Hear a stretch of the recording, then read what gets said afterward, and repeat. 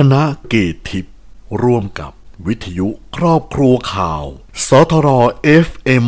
106 ภูมิใจเสนอ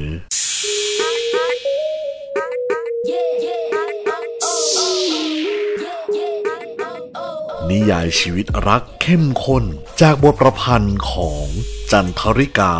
บทละครวิทยุโดย ฟ้าคราม สองตระกูลที่เคยเป็นเพื่อนรักกันมาก่อน ได้เปิดบริษัทร่วมกัน จนมาถึงวันหนึ่งมีเรื่องบาดหมาง จนเป็นศัตรูกัน และแยกบริษัทออกเป็นสองบริษัท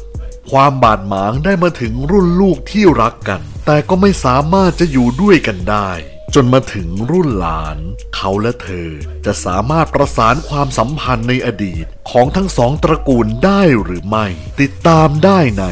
คู่รักคู่ร้าย ทุกวันจันทร์ถึงวันศุกร์เวลาสองทุ่มถึงสามทุ่ม และรีรัน ทุกวันจันทร์ถึงวันศุกร์เวลาตีสามถึงตีสี่ทางวิทยุครอบครัวข่าว สทร FM 106 เริ่มตอนแรกวันอังคารที่ 17 พฤศจิกายนนี้